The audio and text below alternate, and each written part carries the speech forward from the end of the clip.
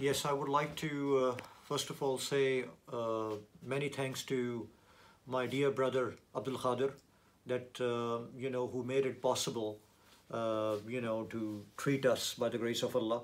I'm a neurosurgeon by profession, and uh, I do deal with all kinds of traumas, uh, road traffic accidents, and then you know tumor-based surgeries.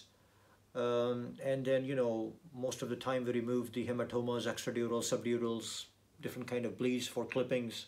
So I see the blood. But you know, I mean, looking at my own clot today coming out with dark blackish cloud, uh, it was amazing, absolutely. It was a different feeling. And I feel like being liberating uh, at this moment. And I think um, just like people come to us, they have uh, put their faith, their trust in us.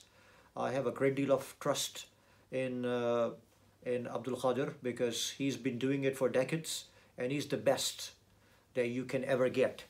So in this line, I would recommend you that if you consider cupping, your man is Aki Abdul Khadir. Absolutely.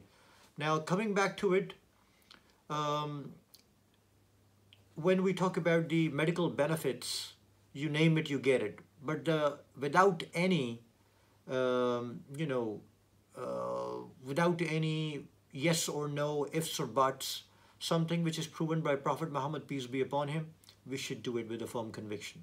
So I request, I urge all my Muslim brothers and sisters to come down to the clinic and get the maximum benefit out of it. We are living in a DNA age with lots of pollution, smoke, carbon monoxide, noise pollution, stress.